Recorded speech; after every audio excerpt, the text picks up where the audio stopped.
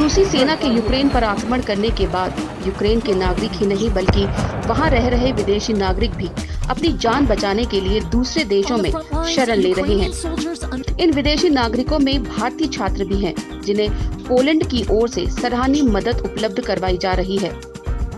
Poland के border पर Poland के नागरिकों, शासन और वहाँ रह रहे सिख समुदाय के लोगों द्वारा हर संभव कोशिश कर वहाँ पहुँच रहे भारतीयों की मदद की जा रही है।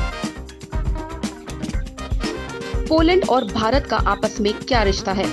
आखिर क्यों पोलैंड भारतीयों के लिए जान छिड़कने को तैयार है? आखिर क्यों भारत के एक राजा के नाम पर पोलैंड में कई सड़कें, गलियाँ, कई योजनाएँ और कई चौक समर्पित हैं? आइए चलते हैं इतिहास के पन्नों में। बात दूसरे विश्व युद्ध की है। जब उन्नीस में रूसी सेना और जर्मनी ने मिलकर पोलैंड पर कब्जा कर लिया था जो हालात आज यूक्रेन में हैं, ऐसे ही हालात दूसरे विश्व युद्ध में पोलैंड भी देख चुका है। उस युद्ध में पोलैंड के हज़ारों सैनिक मारे गए लोग बेघर हो गए उनके बच्चे अनाथ हो गए।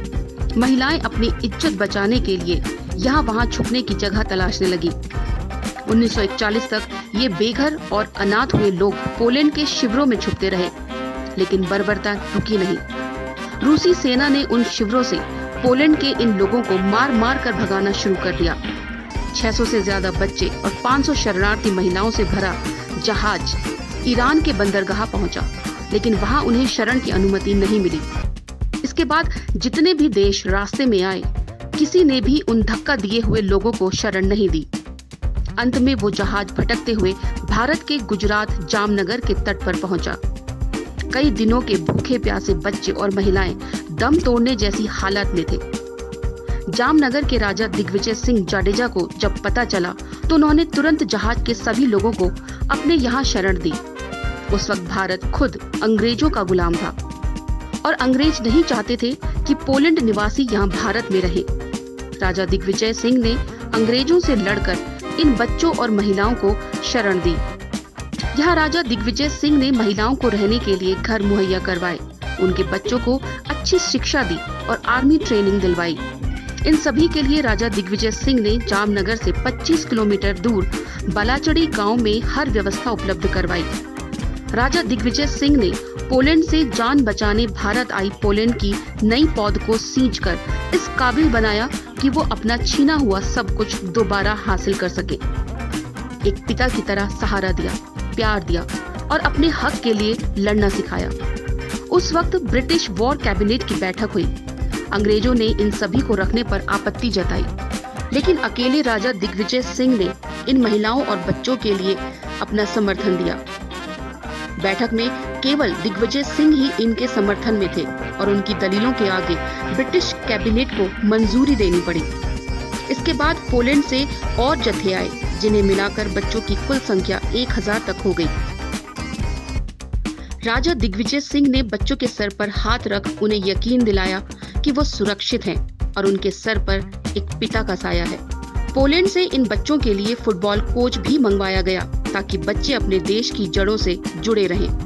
बच्चों के लिए दिग्विजय सिंह ने लाइब्रेरी बनवाई, जिसमें पॉलिश किताबें रखी गई ताकि बच्चों को पोलैंड के बारे में जानकारी मिल सके राजा दिग्विजय सिंह ने इन सभी शरणार्थियों के लिए पोलिश त्योहारों की भी व्यवस्था सुनिश्चित करवाई और उनके हर त्योहार को धूमधाम से मनाया जाने लगा। ये सभी खर्च राजा दिग्विजय सिंह ने उठाया। उन्होंने एक फूटी कौड़ी भी पोलैंड से नहीं ली। 1945 में जब विश्व युद्ध खत्म होने को हुआ, तब पोलैंड को सोवियत यूनियन में मिला लिया गया। 1946 में पोलैंड की सरकार ने भारत में रह रहे इन शरणार्थियों को वापस बुलाने के लिए राजा दिग्विजय सिंह से संपर्क किया। राजा ने कहा कि ये सब आपकी ही अमानत है, जब चाहे आप ले जा सकते हैं। शरणार्थियों के पोलैंड वापस पहुँचने पर पोलैंड सरकार भी हैरान थी कि उन्हें भारत में इतनी अच्छी शिक्षा और ट्रेनिंग दी गई।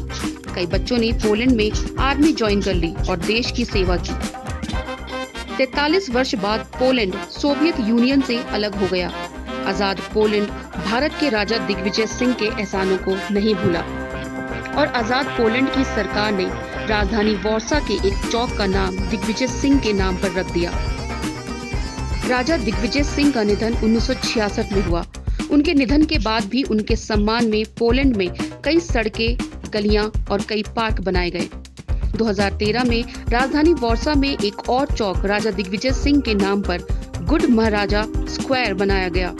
इतना ही नहीं, राजा दिग्विजय सिंह को पोलैंड के सबसे लोकप्रिय बेडनार्स्का हाई स्कूल के मानस संरक्षक की उपाधि से भी नवाजा गया और पोलैंड ने राजा दिग्विजय सिंह को अपने सर्वोच्च नागरिक सम्मान commanders cross of the order of merit से भी सम्मानित किया। राजा दिग्विजय सिंह की शरण में जो बच्चे पढ़े लिखे थे, उन्हीं में से एक बच्चा बाद में पोलैंड का प्रधानमंत्री भी बना। अब हर साल पोलैंड के उन शरणार्थियों के वंशज भारत जामनगर आते हैं और अपने पूर्वजों को याद करते हैं। हर साल पोलैंड में राजा दिग्विजय सिंह के नाम पर पोलैंड अखबारों में जाम साहब के नाम से आर्टिकल पब्लिश होते हैं। पोलैंड में राजा दिग्विजय सिंह को भगवान का दर्जा दिया गया है। उनके लिए कोई भी किसी तरह का अपशब्द नहीं कह सकता। अगर कोई राजा दिग्विजय सिंह की शान के खिलाफ एक लफ्ज भी निकाल दे तो उसे कठोर सजा मिलती है। भारत और पोलैंड का आपसी रिश्ता आज भी इतिहास के पन्नों में दर्ज है।